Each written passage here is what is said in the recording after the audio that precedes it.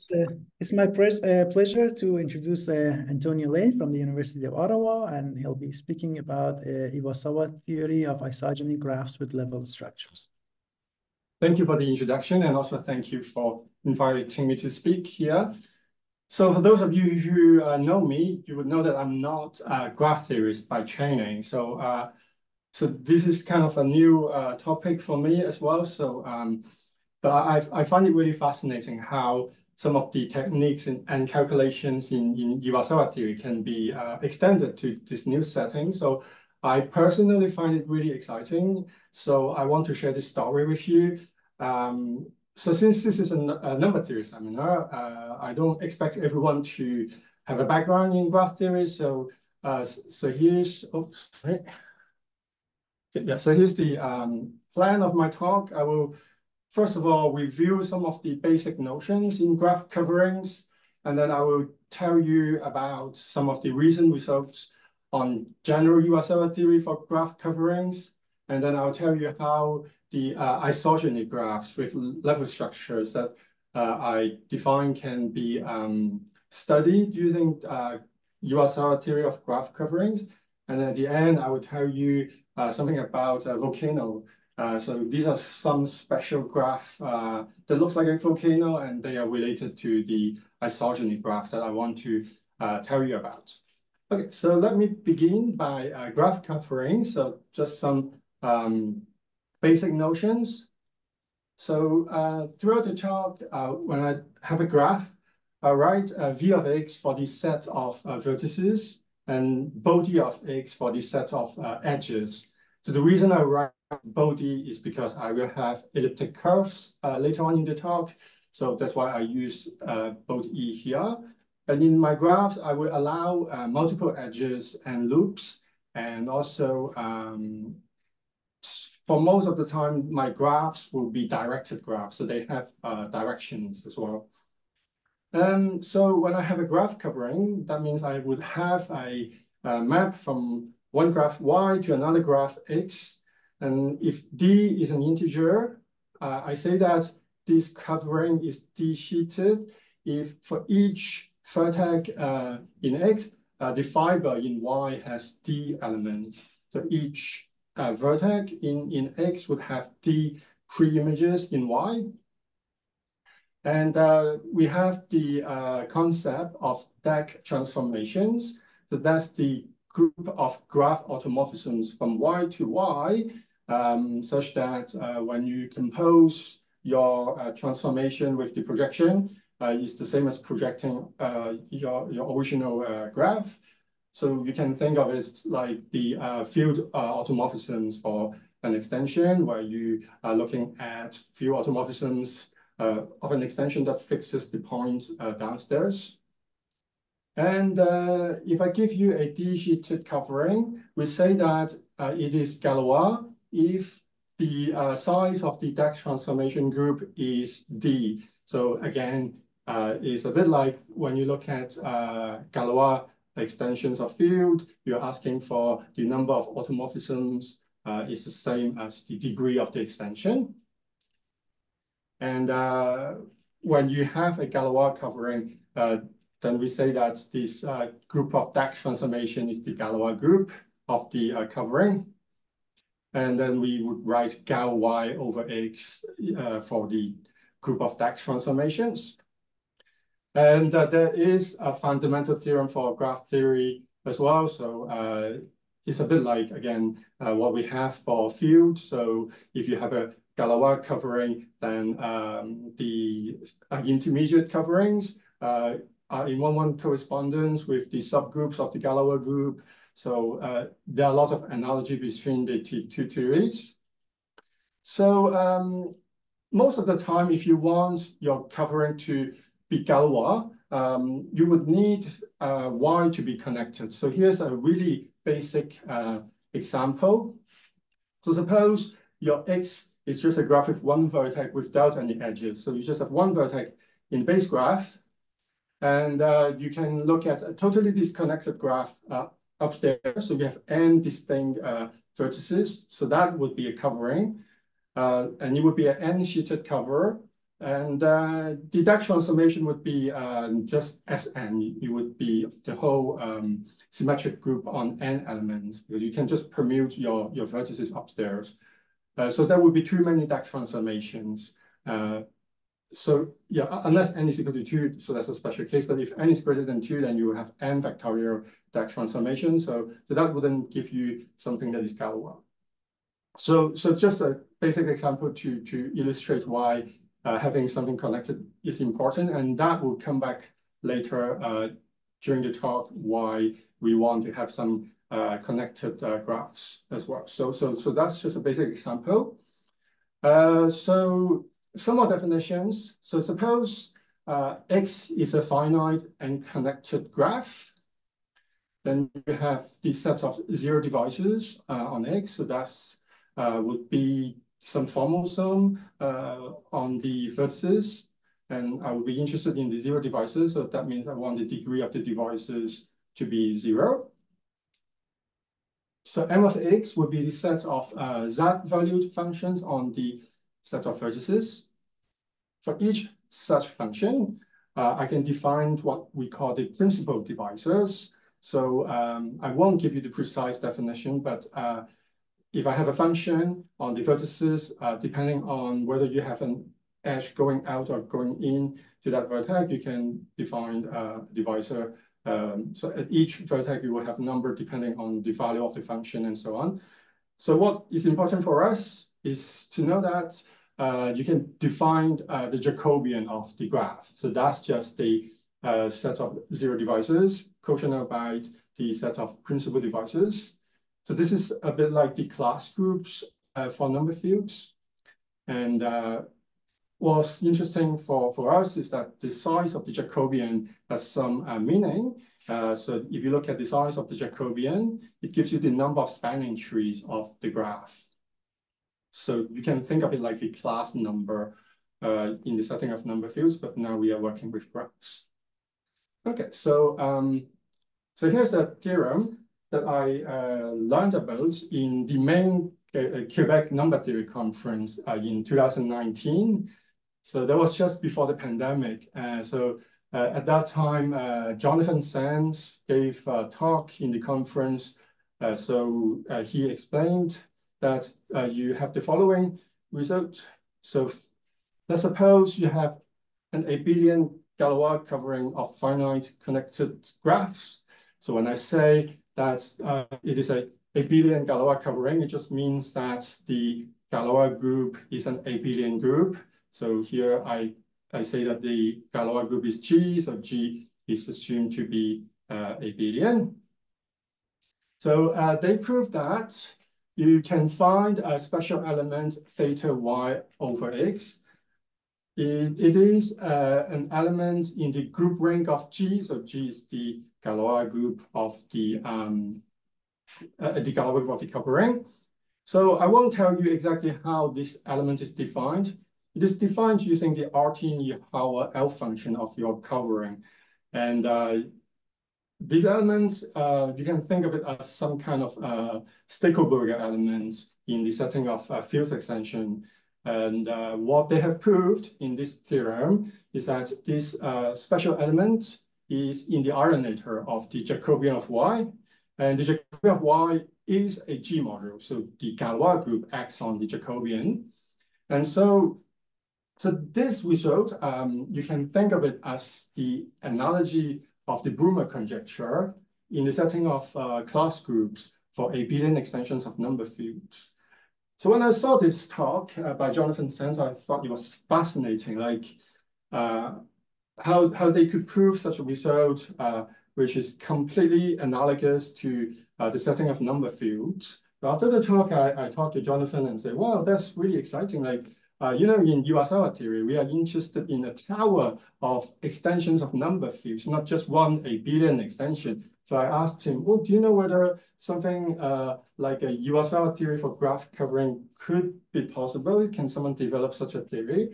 So he said, well, he doesn't know, uh, but he said, um, you know that some people are thinking about these questions. So he said he would keep me informed if there are any uh, news. So um, and and, uh, and and so a few months later, the pandemic hit, and then uh, during the pandemic, I received a message from Jonathan as he promised. He said, "Oh, by the way, I I know that some people have uh, been able to prove uh, some results uh, in this direction," and I said, "Wow, that's so exciting!" So so that's the next uh, topic that I want to tell you about. So what what can you do with um, Iwasawa theory of graph coverings.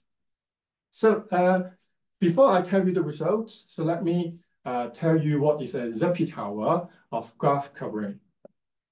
So P will be a fixed prime number. So um, a ZP tower would be a chain of um, graph covering denoted by x1, x2, xn, da, da, da. So I want each graph xn to be finite and connected. And I want the covering from xn to x to be Galois. And uh, I also want that the Galois group of this covering to be isomorphic to the cyclic group of uh, order p to the n. So when you take the inverse limit of these Galois groups, it will be isomorphic to Zp, the p-adic integers. So again, this is analogous to what you would do in the setting of uh, number fields. So that's what it looks like a ZP tower of number fields. So uh, with this tower, what can you do? So this is a theorem by um, Daniel Vallières, uh, McGown and Vallières, and also by uh, Gonet. So they proved this result in different settings under uh, different hypotheses and using different techniques. Uh, but they all prove that um, just like a ZP tower of number fields, you know, how when you look at the P part of the class group in a ZP tower, you can find mu, lambda, and nu such that the P part of the class group is equal to mu times P to the n plus lambda times n plus nu when n is sufficiently large. So they proved a completely analogous result in the setting of graph covering. So um, I so so when Danielle sent me this preprint, I thought, wow, that's so amazing. And so uh, again, it was during the pandemic, right? So uh, you could just invite anyone in the world to to give a seminar um, for your university without uh, paying anything. So so I thought, well, Daniel, why, why don't you give a talk for us at Laval? So I was at Laval at that time. So they gave a really nice talk on on this uh, result. And then I, I find it really fascinating. I wanted to learn more about this. And so uh, I guess the, the best way to learn about new results is to uh, learn it with someone else. So I proposed to Daniel, why don't we try to collaborate and uh, see what else one can do? Because Iwasawa theory is such a vast uh, subject. So there are so many things one can try to prove. So, um, so again, during the pandemic, we uh, came up with uh, the following theorem. So instead of looking at the P part of the Jacobian, we look at the L part of the Jacobian. So here, um, L is uh, prime different from P. And uh, what we could prove is that if you look at the L part of the Jacobian of Xn, then uh, you will have this formula. It's given by some mu times P to the N plus nu when n is sufficiently large. So again, you can recognize that this formula looks really similar to what uh, what you get when you have a tower of uh, number fields, uh, giving you a ZP tower of number fields. So, so yeah, so uh, I want to explain to you how these uh, theorems proved. So in order to explain the main ideas, I need to introduce a little bit more uh, machinery from graph theory. So this is called voltage assignment.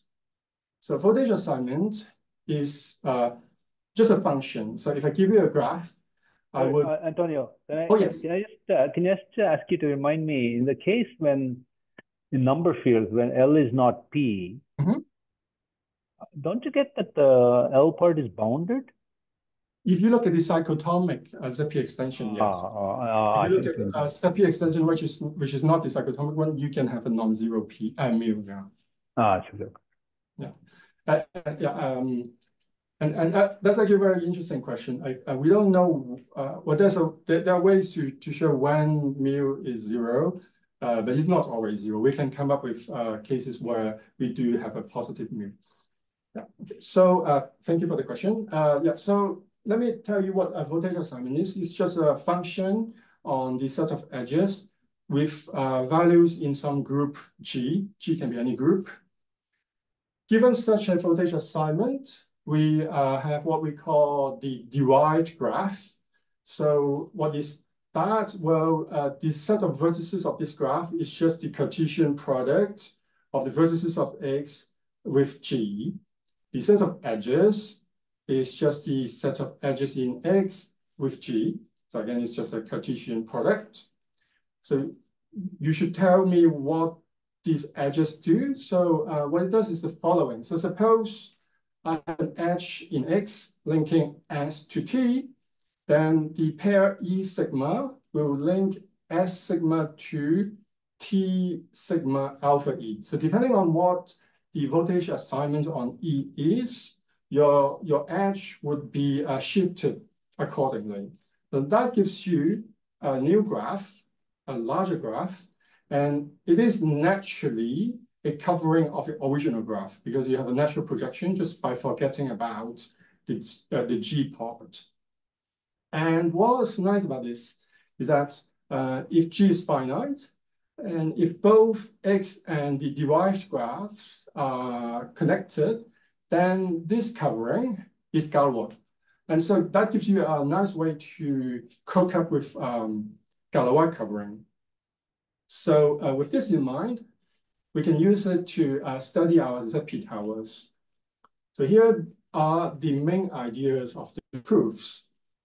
So suppose you have a ZP tower, and um, what we, well, what Daniel and his collaborators have proved is that um, you can realize each of these xn as a derived graph of some voltage assignment, alpha n, where alpha n comes from a one single unique voltage assignment with ZP values. So you start with a voltage assignment taking values in ZP, and then you look at these uh, values modulo P to the N.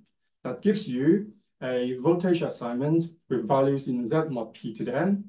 Then each of these Xn is one of these derived graphs. That gives you a uniform way to study your tower. And uh, with this voltage assignment alpha, you can define what we call, well, this is my terminology. I don't think this is an official terminology, but I would call this a p-adic zeta function, which is defined uh, using alpha and the adjacency matrix of X.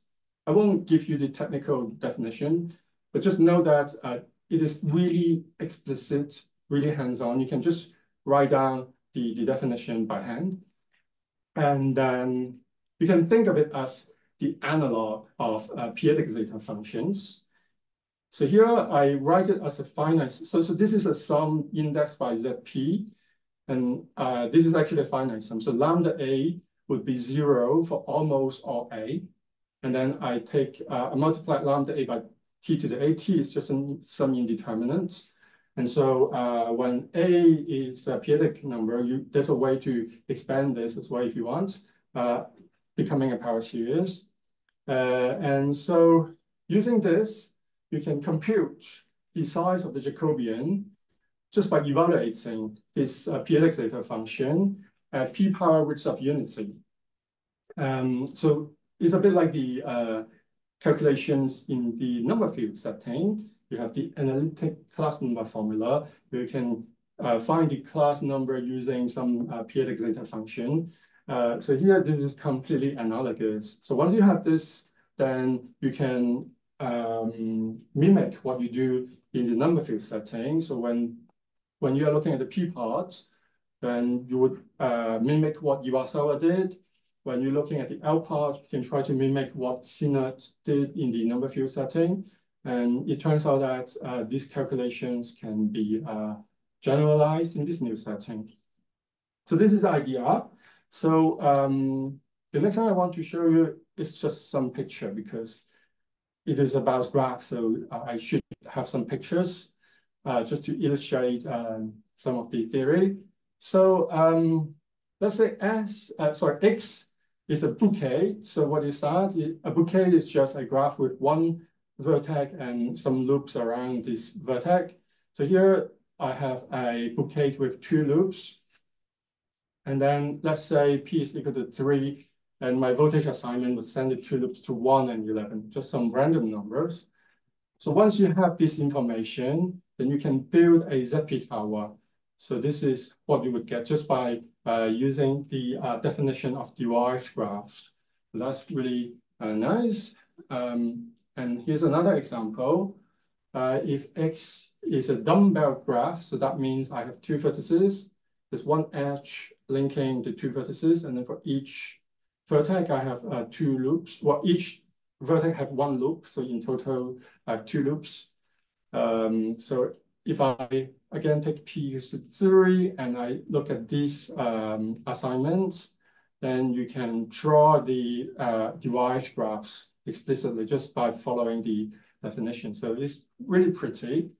Um, so one question uh, we wanted to understand is, okay, so since each ZP tower uh, is related to a voltage assignment, then um, there's a natural way to parameterize the ZP extensions or ZP towers. So we wanted to ask some statistical questions, a bit like what people do in arithmetic statistics. So you would you might be interested in how number fields behave when you uh, look at a large family of number fields. So here we have a natural way to look at uh, to parameterize these uh, ZP tower using voltage assignment. So uh, we study some statistical questions in this direction. So this is a result um, by myself uh, with Cedric Dion, uh, Anwesh Ray, and Daniel Vallières. So these are some basic uh, cases. We have uh, more cases in our paper, but I won't uh, give you all the details. So let's say X is a bouquet with T loops. Uh, you can just work out the p-adic zeta function, and then you realize that when t is equal to 1, then mu is always 0, and lambda is always 1. So that's really simple. When t is equal to 2, and p is at least 3, we can show that mu is always 0. Uh, we can also show that when p is 3 mod 4, then lambda has to be 1. And when p is 1 mod 4, then you have two possibilities, either lambda is 1 or lambda is 3 and the probability is given by this formula. So again, yeah, so so here I'm putting a Haar measure on the ZP, uh, the, the p-adic integers. So you can, yeah, you can give a probability of uh, each case. And then uh, a little bit more complicated when uh, t is equal to three, you have uh, this probability, and, and then we have other formula. Uh, so, so far, um, it's all just ad hoc um, calculations. We don't really have a good uh, general method, but like if, if you give me a graph and then I look at all these ZP extensions, I can just look at the uh, uh, zeta function and work out when will mu equal to something, when will lambda equal to something. So this is really explicit. So, um, so, so that's the general theory of Iwasawa theory of graph coverings. So after after these uh, theorems, I asked myself, well, that's nice, um, but in the setting of number fields, we have a canonical ZP extension, which is the cyclotomic ZP extension. In the set of graphs, doesn't there, there doesn't seem to be a natural candidate of uh, ZP graph covering. So, so, um, so I asked myself, what would be the interesting towers to, to, to study? Uh, so um, at that time, I already moved to Ottawa. I had a postdoc, uh, Katharina Müller, who was uh, still in Laval. And uh, so she stayed behind when I left. So I, I felt sorry. And so I uh, invited her to come to uh, Ottawa for a couple of weeks. And so during those two weeks, we uh, talked to each other almost every day. And it turns out to be pretty uh, productive. Like when, when we were both in Laval, we would meet once a week. And then because I have a bad memory, so the next time we meet, I would have forgotten what we have done. And then I have to ask her to remind me what we did and then and start again. So during those two weeks, I don't have that excuse. So like we were trying to come up with new ideas. And one thing we uh, realized was that um, there's a nice formula linking the um, uh, the Ihara zeta function of an isogeny graph of supersingular elliptic curves to the Hasse-Weil uh, zeta function uh, for um, for the modular uh, curve over a finite field. So there's a nice link between two uh, worlds. So the idea was that, well, in Iwasawa theory, um, sometimes we would look at the tower of uh, modular curves by varying the level. So we thought, yeah, why don't we try to do that and see what we can get? So that's the next uh, topic that I want to um, tell you about. So um, yeah, so so we would be looking at so so yeah. So for those of you who who know the area well, you would know that um, in cryptography, you, people uh, would work with isogeny graphs of um, supersingular elliptic curves. And that's the first one we try to study. But then we realized that uh, it might not be so appropriate for what we wanted to do, wanted to do. So let me explain why. So I would be looking at, first of all, elliptic curves defined over FP. Um, and then I would have a gamma 1 p to the n level structure. So this is kind of similar to what uh, people do in arithmetic geometry when you look at the Igusa tower of modular curves. That's the level. You can look at such a level structure. So let me explain what we uh, did. So here I will take two prime numbers, L and P. They're distinct from each other. And I said FP, but you can look at uh, a finite extension of FP if you want. So K would be a finite field of characteristic P. So here's the graph we studied. So we defined Xn to be the graph whose vertices are isomorphism classes of these pairs. So you have E and Q. So E is an ordinary elliptic curve over K, and Q would be a point on E with uh, order P to the N. So as you can see, if I want to have a non-trivial point of order p to the n, then uh, it has to be ordinary because if it is supersingular, then you don't have such a point. Uh, so, but for us, this seems like a really natural thing to look at because that corresponds to x1p to the n, the modular curve with a gamma 1p to the n level structure. And so here I insist that the curve is defined over k, but the uh, torsion point uh, can be defined over an extension of K. So these are the vertices. And then uh, the edges are given by the L isogenies, i.e. if I have two vertices, E, Q, and E prime, Q prime, then uh, whenever I have an L isogeny going from E to E prime, uh, and it sends Q to Q prime, then that corresponds to an edge between the uh, two vertices. So in the setting of uh, cryptography where people use uh, isogeny graphs to, to define a crypto system, this is similar to what they do, except that uh, they don't have the Q usually. They only have, um, they, they only look at uh, J invariants as vertices, and then they say that um, one vertex is linked to the other whenever you have an L isogeny. So here we are asking for something slightly more. And uh, by adding this uh, new level structure, then uh, it gives me a tower of graph covering because from xn to xn minus 1, I can just multiply my torsion points by p. Then if q is of order p to the n, then p times q would be of order p to the n minus 1. So that gives you a natural uh, graph covering. So uh, if you look at this tower of uh, graph coverings, this is what uh, uh, we uh, try to study. So how do we study this um, tower? So this is what we do.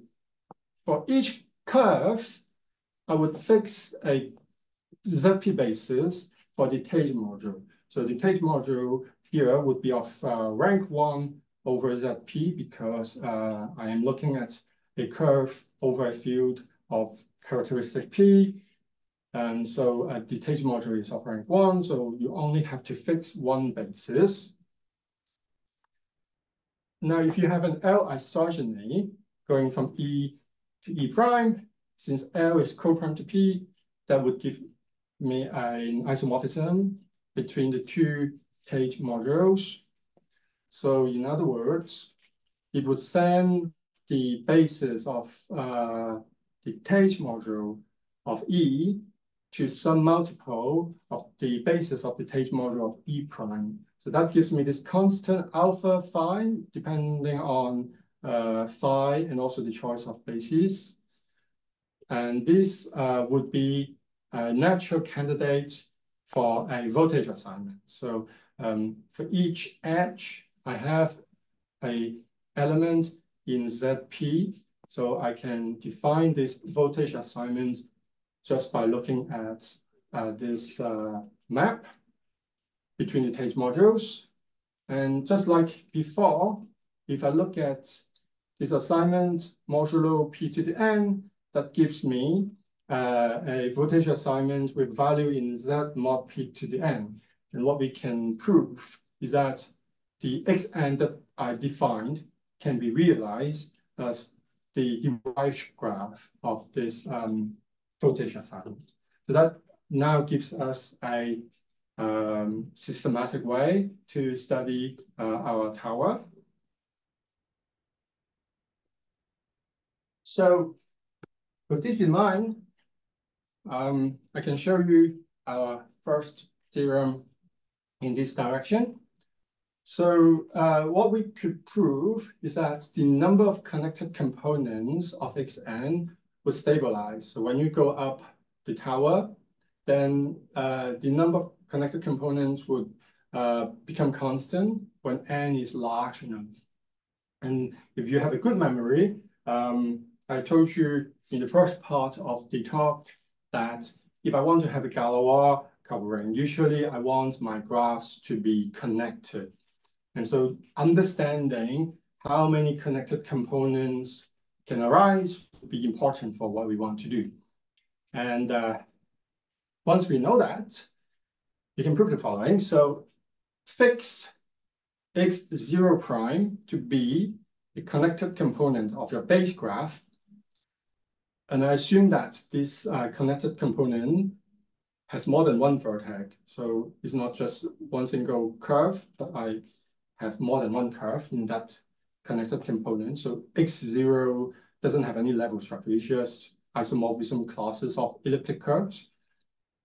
And then uh, now what we do is when I climb up the tower, I would uh, recursively pick a pre-image of each of these connected components. So when I go from xn minus 1 to xn, I would fix one connected component at each step. And then uh, that gives me a natural tower of graph covering.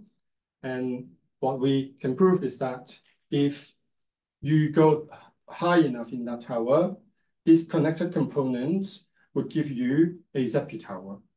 So that's our first example of uh, a natural uh, ZP uh, tower of graph coverings that for us seems to be kind of canonical. Um, yeah, it, it, it, I mean, I, I can't say whether it's a, uh, I mean, it's, a, it's still a really special case. I mean, uh, we, we are looking at a really specific graph, and then uh, by looking at this natural tower, we can build a ZP tower from this. So we thought that's uh, interesting. The second thing I want to tell you is that um, earlier I said that um, I had to assume the level structure um, uh, yeah, I had to assume that the curves are ordinary in order to get a non-trivial level structure. But that's just because we were looking at uh, curves defined over a field of characteristic P.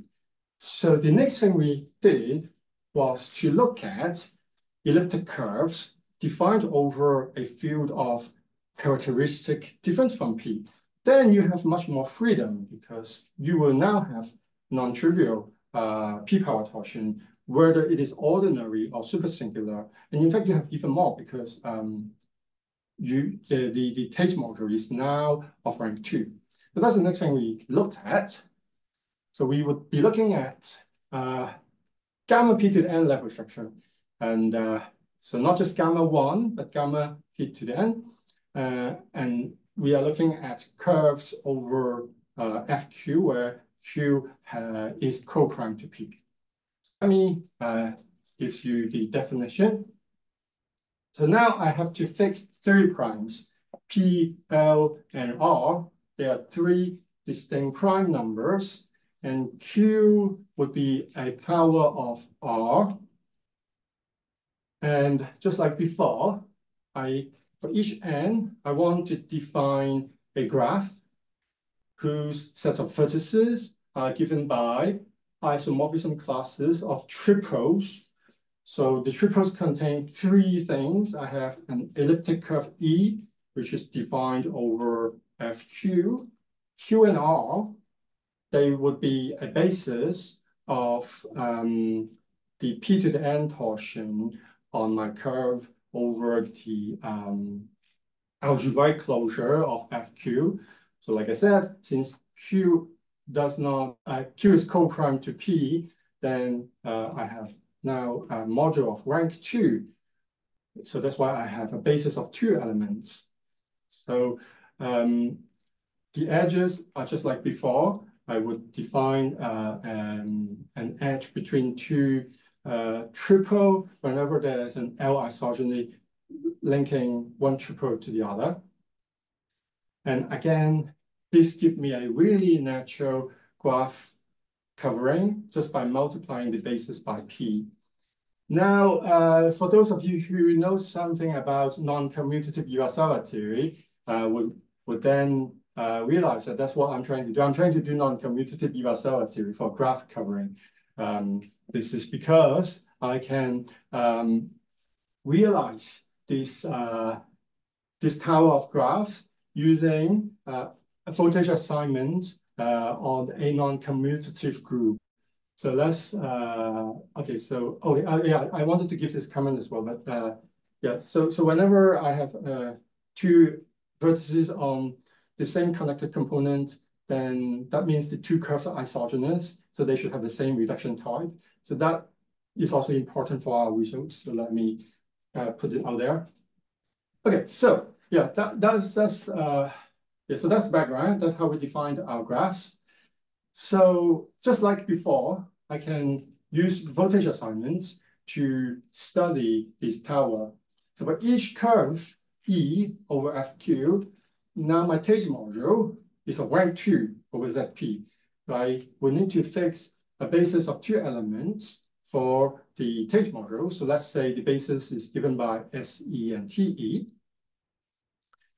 Now, just like before, if I have a L isogeny between two curves, then that gives me uh, an isomorphism between the two Tate modules.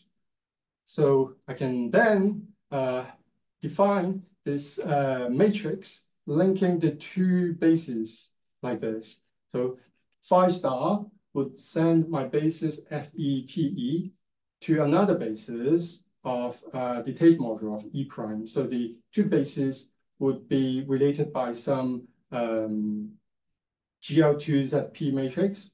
Um, and so just like before, we can show that uh, if you look at this voltage assignments taking values in GL2ZP, then you just look at the values modulo P to the N, then uh, this alpha N would give me uh, the yn. So uh, if I look at the derived graph of this uh, voltage assignment alpha n, then I recover this yn. So you can again use the um, machine of voltage assignment to study this tower.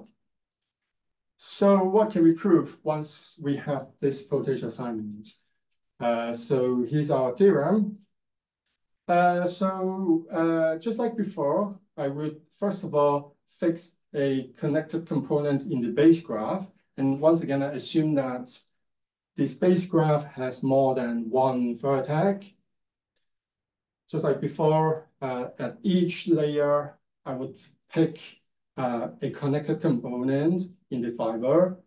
In, in theory, you can have more than one connected component in the fiber, but I just pick one of them. This is because I really want to have something that is Galois. So like I said in the beginning, uh, if I want my covering to be Galois, usually I need connectedness. So um, indeed, what we can show is that once you have picked this uh, tower of connected components as n go up, then you would get something that is Galois. And so the next question we study is then, what is the structure of these Galois groups? So I will look at the inverse limit of all these Galois groups. It would give me a p-adic Lie group. And it turns out that the structure of this group would depend on a few things. So let me explain that. So like I said earlier, the connected component comes with uh, a reduction type, meaning that if I just look at one elliptic curve, if it is ordinary, then all the other curves in that connected component would also be ordinary. So let's say I'm looking at a connected component that comes from an ordinary curve. And uh, in that case, I look at how L behaves in the endomorphism ring of E. This endomorphism uh, by Q. That gives me an imaginary quadratic field. And I ask whether L is split or not in this field. If L is split, then this inverse limit of Galois group is an abelian p-adic Lie group of dimension two. If L is non-split in, in this uh, CM field, then uh, it would be a Lie group of dimension one is again a abelian. So it's not too far from what we had before. So the most interesting thing that we have uh, found is that when the connected component comes from supersingular elliptic curves, then this p-adic Lie group would be an open subgroup of GL2ZP. So that is really a non-commutative uh, p-adic Lie group.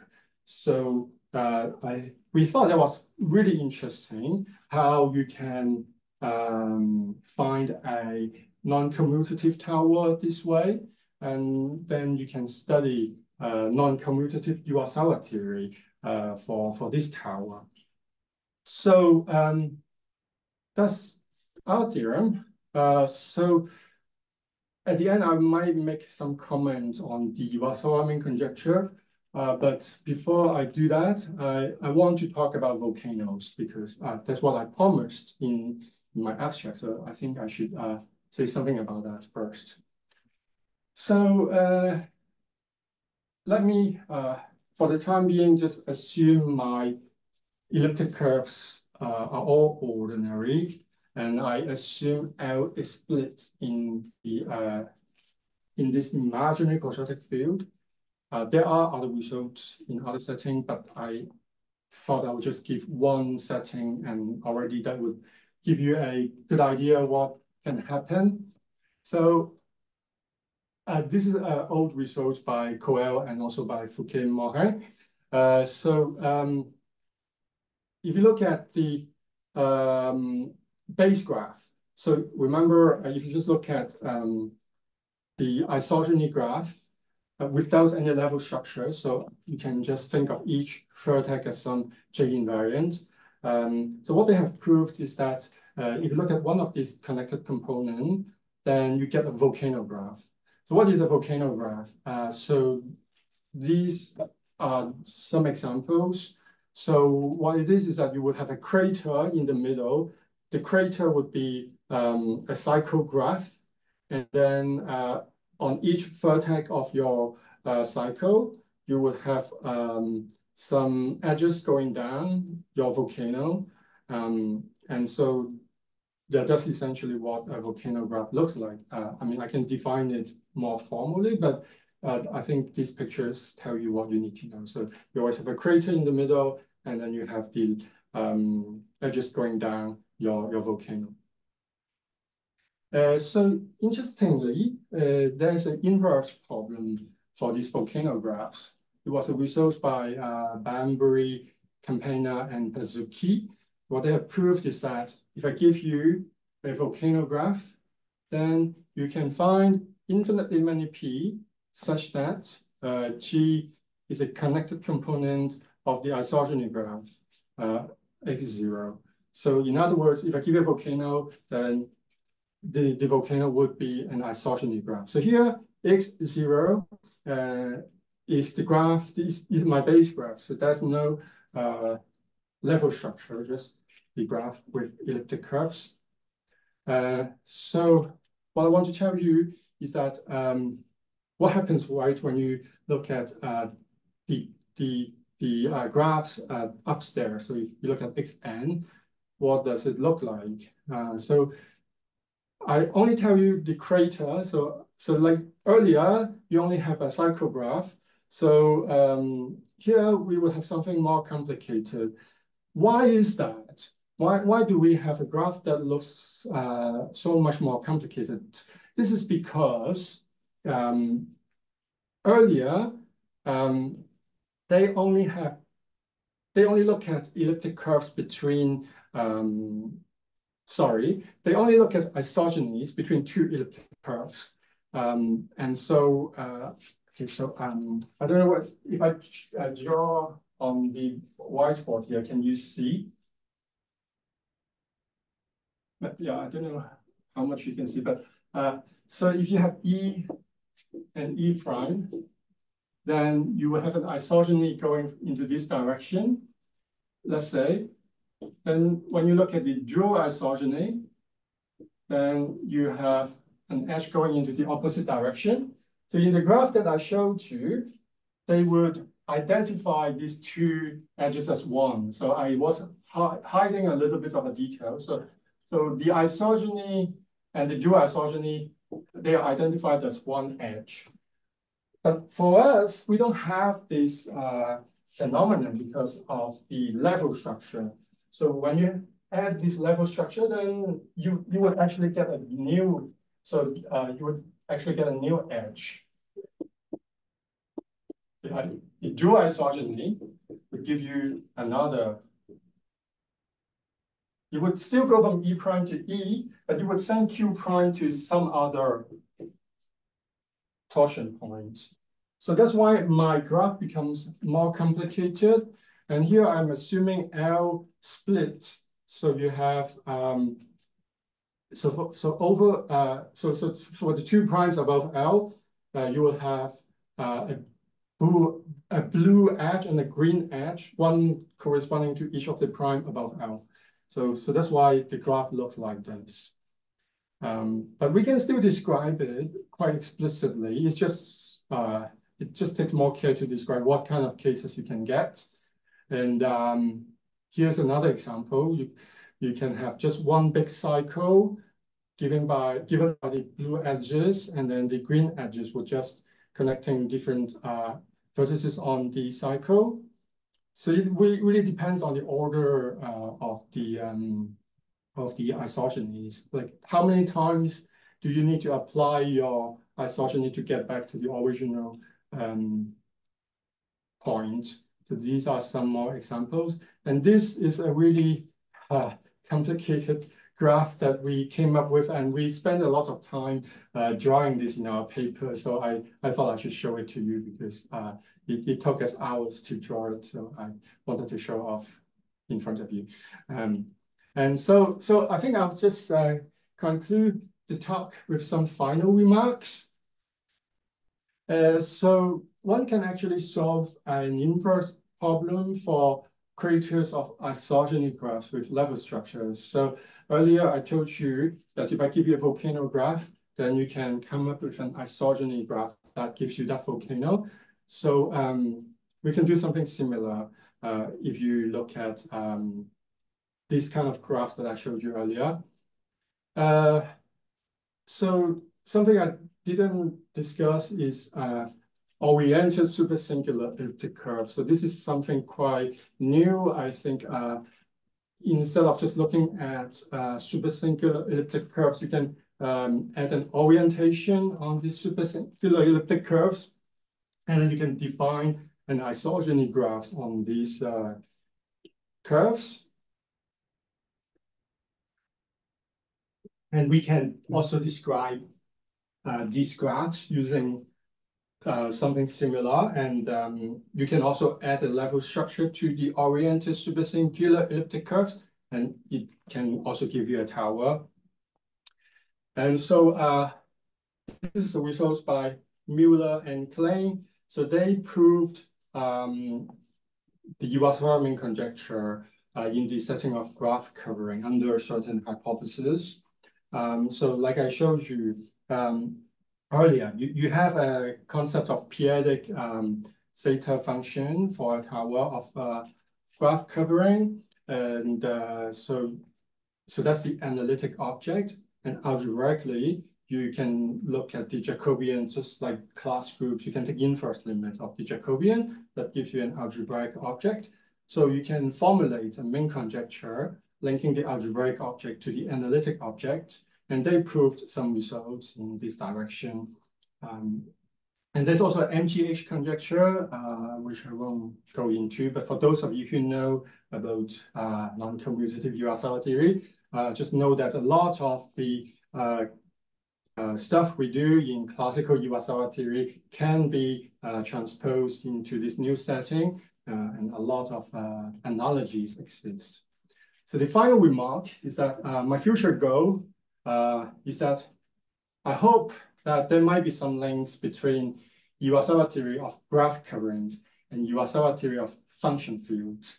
So I hinted earlier that um, you can link the uh, Ihara zeta function of uh, isogeny graphs to the Hasse um, zeta function for modular curves over finite fields.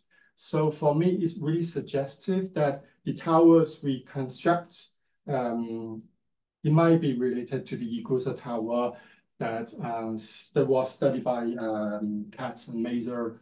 Uh, but I won't say much about that. I, I, I hope that there might be something to be explored, but I, I don't have anything to, to say at this point, but just know that uh, uh, there might be something one could do, but yeah, so so I don't know. But uh, anyway, so I think I'll stop here. So uh, thank you for your attention.